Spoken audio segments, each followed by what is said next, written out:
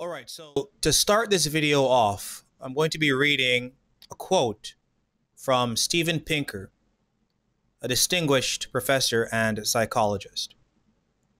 He says, and I quote, I do believe that there is such a thing as free will, but by that I do not mean that there is some process that defies the laws of physical cause and effect. As my colleague Joshua Greene once put it, it is not the case that every time you make a decision, a miracle occurs. So I don't believe that. I believe that decisions are made by neurological processes in the brain and that respect all the laws of physics. On the other hand, it is true that when I decide what to say next, when I pick an item from a menu for dinner, it's not the same as when the doctor hits my kneecap with a hammer and my knee jerks. It's just a different physiological process. And one of them, we use the word free will to characterize the word deliberative, slower, more complex, by which behavior is selected in the brain. Unquote. For those of you who don't know, I am reformed. I am a Calvinist. That's a pejorative term that is uh, given to individuals who are reformed. So I don't really like to call myself a Calvinist. I like to say I'm a theistic determinist or reformed. The quote I just read, it is a quote that respects neurological processes in the brain and it also respects the fact that we are all in a cause and effect universe. And because we are all in a cause and effect universe, we cannot transcend the universal factors or the factors that are in the universe that directly affect us and that directly affect our decision making, our thoughts, our actions, and our words. This becomes a problem when you deny this reality. This becomes a big problem when you deny this fact. Because what happens is that when you deny that we live in a cause and effect universe, you have now stepped out of the realm of reality into the realm of delusion. And the reason why I'm making this video is because I am very much aware that there are Christians, fellow believers, and true Christians, by the way, my brothers and sisters in Christ. I am very much aware that some of you believe in this concept called free will. This concept that basically states that you are free to make your decisions. You're free to make your choices.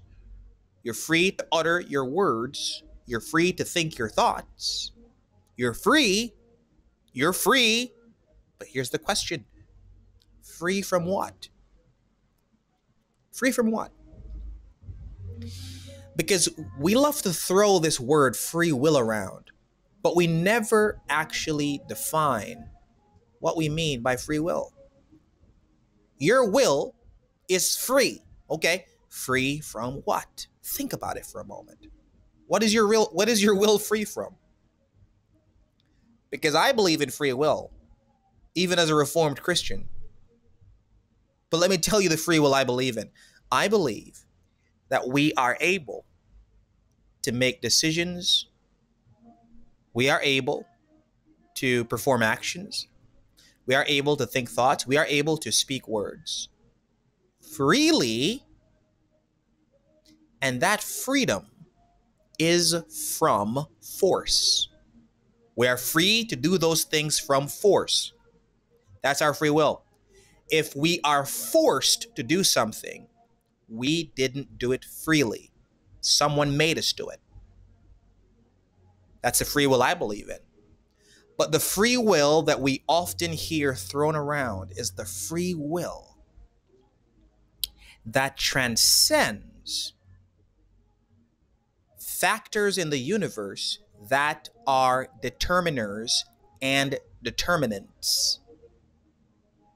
And factors in the universe would include your environment, your upbringing, your circumstances, your location, the people around you, anything you can point to that is in your direct proximity are universe factors that affect you and that have the capacity to determine you to do what you do. The free will that's being proposed is this you are free from all those factors. That's a free will I don't believe in. There is no way, shape, or form that we can have that kind of free will because we are a part of the universe. And this universe is a universe of cause and effect.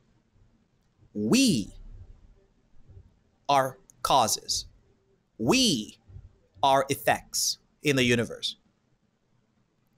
Something causes us to do things. And when we do things, we are an effect. And our effect causes something else. And that cause causes something else. And that effect causes something else. And that cause causes an effect. And that effect causes a cause. And that effect causes another cause. Ad infinitum. We are a part of that long chain of cause and effect.